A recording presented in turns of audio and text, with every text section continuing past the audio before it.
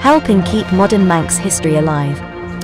Well, this marks uh, nearly the end of a long project. It's taken 10 years to actually find a suitable location within Peel, and uh, we're looking at the end of that project now, delivering a first class medical facility uh, for the people of the west of the Isle of Man and the GP practice in Peel in particular.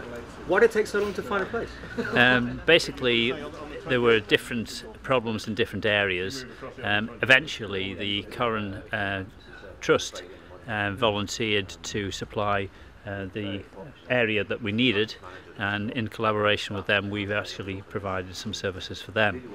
Um, so it's a mutual win-win really because it actually is very central to the middle of Peel obviously it's right alongside Westlands here um, it's got good parking now we've put good parking in as well um, it's a first class facility and where the GP practice we were working out of before was far from ideal and not fit for 21st century medical practice. Is this adding to your health bill? Um, no, this is a capital project, which will just um, mean that um, we're able to deliver um, services in a more efficient manner. I, mean, like the running costs and, and no, the size that, the, the, the running costs will be built in. It's we had running costs in an old building anyway, uh, which was we're glad to say we're going to be able to pass on to Home Affairs.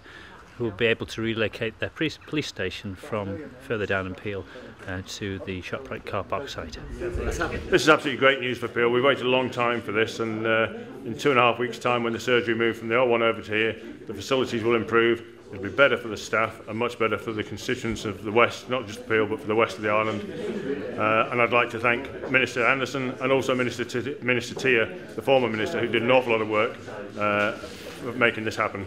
It took a long time, didn't it, to get actually finalised? Yeah, and there was arguments whether it should be here or Kurt Michael and things, but we've worked with the minister and the former minister, and we finally got one to come to Peel after a long, long time of waiting. And in a couple of weeks' time, then this will come on stream, will it? It will indeed. I think it's two two weeks today. I think there's the old surgery will close on the Friday, and then they'll have a, an emergency service over the weekend and the following Monday, and then they'll be open for business on the Tuesday, I think.